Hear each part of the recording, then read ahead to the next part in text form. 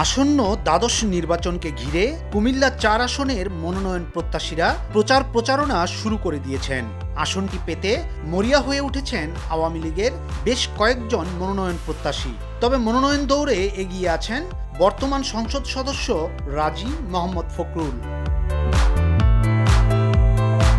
জানা গেছে, উনিশশো সালের পাঁচ আগস্ট কুমিল্লায় জন্মগ্রহণ করেন রাজি মোহাম্মদ ফখরুল। তার বাবার নাম A F M Fakhrul Islam Munshi এবং মা রাকিবা বানু। রাজি মোহাম্মদ ফখরুলের শিক্ষাগত যোগ্যতা বিবিএ এই রাজনীতিবিদ পেশায় একজন ব্যবসায়ী। উনিশশো তিয়াত্তর ও উনিশশো উনআশি সালের নির্বাচনে কুমিল্লা চারে জয়লাভ করে আওয়ামী লীগ। তৃতীয় ও চতুর্থ সংসদ নির্বাচনে জাতীয় পার্টির প্রার্থী জয়লাভ করে। এরপর আসনটি বিএনপির দখলে চলে যায়।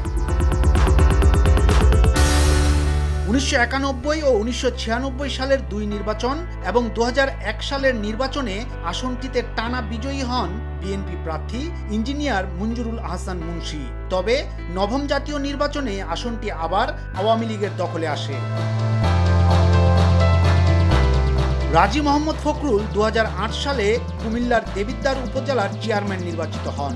দু হাজার চোদ্দ সালের দশম জাতীয় সংসদ নির্বাচনে কুমিল্লার চার আসন থেকে স্বতন্ত্র প্রার্থী হয়ে এমপি নির্বাচিত হন।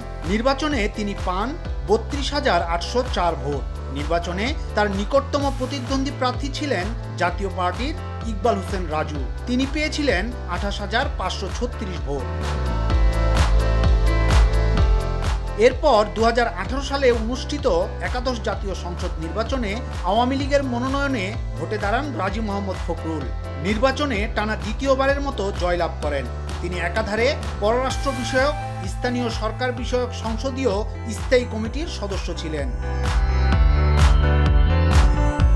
স্থানীয় আওয়ামী লীগ নেতাকর্মীরা বলছেন, এমপি নির্বাচিত হওয়ার পর এলাকায় বিভিন্ন উন্নয়নমূলক কর্মকাণ্ডের সাথে যুক্ত আছেন রাজি মোহাম্মদ ফখরুল। এ কারণে স্থানীয় সাধারণ জনগণ ও নেতাকর্মীদের মাঝে ব্যাপক জনপ্রিয় তিনি। কুমিল্লা চার আসনে রাজি মোহাম্মদ ফখরুলের বিকল্প আর কেউ নেই। কুমিল্লা চার জাতীয় সংসদের দুশো বাহান্ন নম্বর আসন। কুমিল্লা জেলার দেবিদ্দার উপজেলা নিয়ে গঠিত আসনটি। একাদশ জাতীয় সংসদ নির্বাচনে আসনটিতে মোট ভোটার ছিলেন তিন লাখ ষোলো হাজার সাতশো পাঁচ জন। এর মধ্যে পুরুষ ভোটার এক লাখ ষাট হাজার তিনশো আটত্রিশ জন এবং নারী ভোটার এক লাখ ছাপ্পান্ন হাজার তিনশো সাতষট্টি জন। সাদা কালো নিউজ।